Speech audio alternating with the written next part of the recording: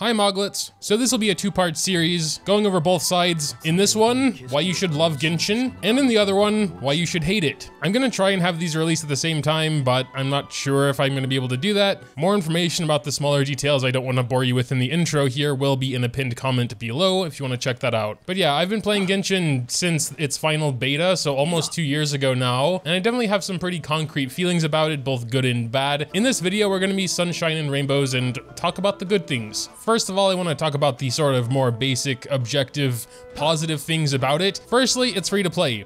Zero dollar investment to get you started. Outside of that, you can play it on pretty much any device you have, phone, tablet, PC, PS5, whatever, it's available pretty much everywhere. And I find that as a pretty big plus because I play on basically every platform. And it's super convenient. When I'm out and about, I can pop out my phone, you know, do my dailies real quick or whatever. When I'm at home, I can play it on the PC or PS5, etc., etc. And I'm kind of bundling all that into point number one. Point number two, I would say, is the overall feel and aesthetic of the game, which is of course more subjective, but when you consider this is technically a mobile game, um, it, they've come a long way, but character design, overall graphics, the soundtrack, I, I find is excellent, and the fact it is a real open world. Speaking on open world, I don't think it's as dead as like some might argue. I've played through Elden Ring, Forbidden West, uh, Ghost of Tsushima, all open world games, there is just simply a lot of dead space. That's just what it is. I also want to talk about sort of the variety of scenery. I think Genshin does a really good job with this. We have like the luscious green landscape of Mondstadt, then like the super cold blue area of Dragonspine, the yellower, more earthy Liyue. Inazuma definitely feels different from the rest as well. So in a way, I would say it's closer to Breath of the Wild's open world where you just have a lot of variety. And while most of the open world, like actual locations are more just a vehicle for, you know, a side quest or a main story quest, I feel like that's pretty similar across the board when it comes to open world.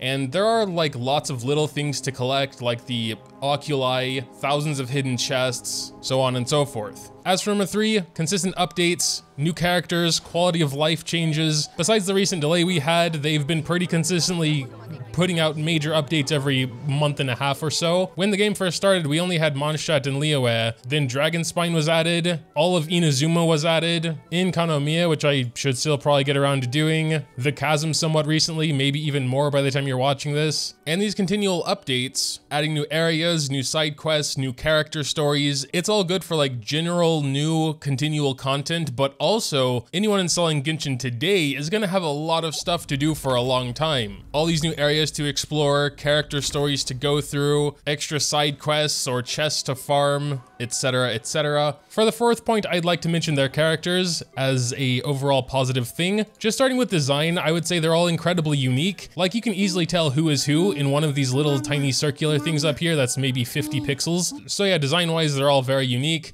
I, have played lots of games where it almost seems like they're just swapping around assets here and there, but these characters, you know, really seem their own creation in a way, if you know what I mean mean, Speaking more on characters and kind of in the same line, their mechanics and skill set, a lot of them are very unique as well. There are some similar characters like Xingqiu and the uh, newer character Yelan, maybe even like Eula and Razor are somewhat similar in their mechanics, but even that is a bit of a stretch. They're essentially both main DPSs who wield a claymore and deal physical damage primarily, but even they have somewhat different playstyles. So I'd say all in all, designs and mechanic-wise, the characters are super unique. That's why most of the time in my comment sections, you can see you should have used this you know, one specific character in your team. They don't say, hey, well, you could have used this one or this one or this one or this one instead. It's just a specific character that works really well in this certain way. And that makes building teams really fun as well because, you know, there's lots of possibilities there. And finally, one other point about characters that I really appreciate is that most of the four stars are actually really good. Xiangling, Xingqiu, Yanfei, I could pretty much go through all of them, you know,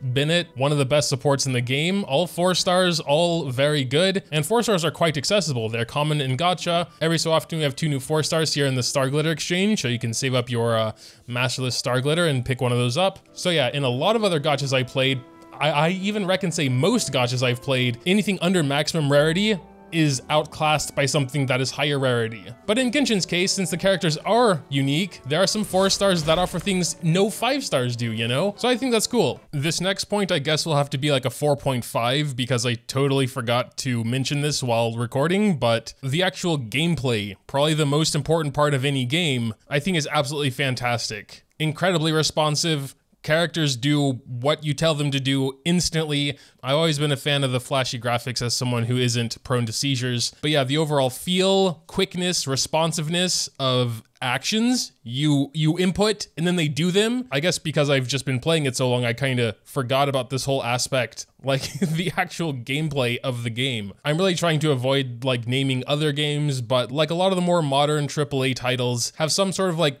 purposeful delay in in character movements and attacks, I guess to make it feel more realistic or whatever. And I never really like like that very much. The instantaneous actions I get to enjoy in this game, I, I just appreciate and that's all I can really say about it. And as we were talking about a little earlier, you know, it's a team-based game, four different characters. Swapping out from one character to another feels good, fast, responsive, intuitive. But yeah, overall gameplay there as uh, a 4.5 and as an afterthought which is kind of shameful. And up at number five is, I'm not sure why I saved this for number five. It's a, it's a pretty small thing, I guess. And this is kind of only a half good thing because it doesn't do what a lot of other mobile games do. Actually, now that I think about it, other non-mobile games do this as well. I think it's most notorious in MMOs, but it's that it doesn't demand that much of your time. Sure, if you want to be maximum efficient, you have to do your daily quests every day. That's four daily quests, takes five or 10 minutes, and then you have some resin to use. Unless you're actually refilling your resin, that doesn't take too long to deplete either.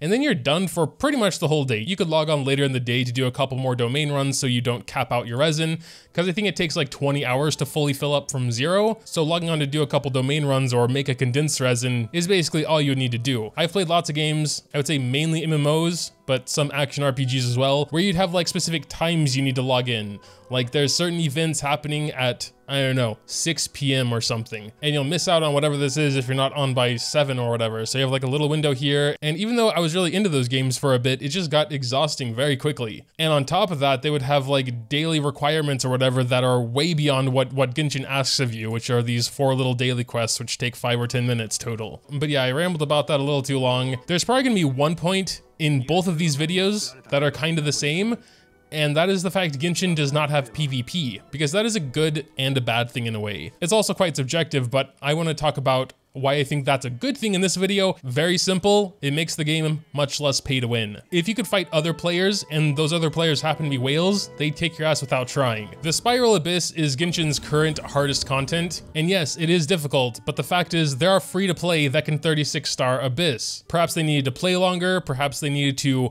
follow a sort of meta route, but it can be done which is definitely a good thing because that means since you're not directly competing with other players, you just need to be strong enough to fully complete the Abyss, which again, like with enough time and game knowledge, and yeah, some skill as well, this can be done without spending a cent. So again, the lack of PvP can be seen as a positive thing. But yeah, that's pretty much it. Make sure to tell me what you think in the comments down below. Leaving a like or subscribing to the channel if you enjoyed is always greatly appreciated as well. Thanks, as always, for watching, and until next time.